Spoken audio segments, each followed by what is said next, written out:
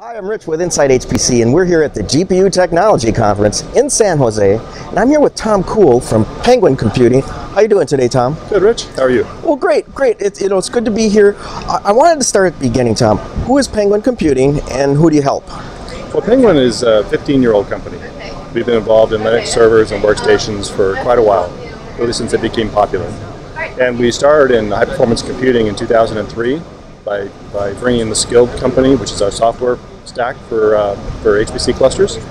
And within the last couple of years, we've really expanded out into the enterprise. So now about half of our business is high performance computing, the other half is, is dealing with large data center enterprise installations. Okay, so you guys are known for your HPC solutions. How do the enterprise machines, how do they look different? Well, in many ways they don't. You know, if you're dealing with big data, that's kind of on the blur between high performance computing and, and enterprise data center. But uh, we actually do a lot of just standard um, storage environments as well as servers that run uh, email clients, for example. So we have a lot of cloud products now that are moving into the enterprise. So we've really broadened kind of the range of our servers. They're not all just rack mount anymore. Sometimes we just deliver a whole bunch of servers to a data center and then integrate them in place. Okay, so, so you, brought up the, the cloud. Now, I know you guys from Penguin On Demand. I've, i understand you've expanded that offering recently. We have. What we did is we took the software bits that we built on OpenStack, which runs our cloud product, and we made those a product that our customers could buy.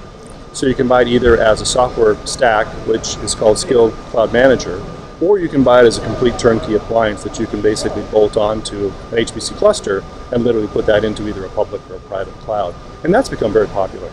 So Tom, you mentioned public clouds and private clouds. I mean, physically, would, would that look any different from a machine standpoint? It really doesn't. It's the same appliance. Um, the real difference is whether you're using it internally to say service the needs of multiple departments within your organization, or whether you want to do it externally where you access it through the internet and you have your customers kind of out, you know, in their environment, um, and that's more of a public uh, approach. But really, it looks the same from a hardware standpoint. Okay. And while we're talking about hardware, I mean, you guys are known for working with this Open Compute project, new form factors. What's that all about? Well, we've actually uh, been one of the leaders really in working with Facebook and other companies in terms of bringing an OCP product to market. Um, and I think you'll see some, some great installations uh, from Penguin in that area in the very near future.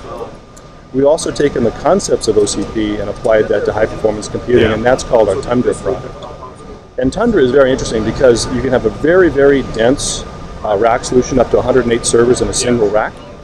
Um, and you still have the benefits of OCP. So when you want to upgrade you know, your environment, you can pull out, pull out the sleds, change processors, change network, but all the other infrastructure in your investment stays the same. Oh, terrific. Well, if, if you met somebody in an elevator and they're an enterprise guy and they said, well, why Penguin? What would you tell them?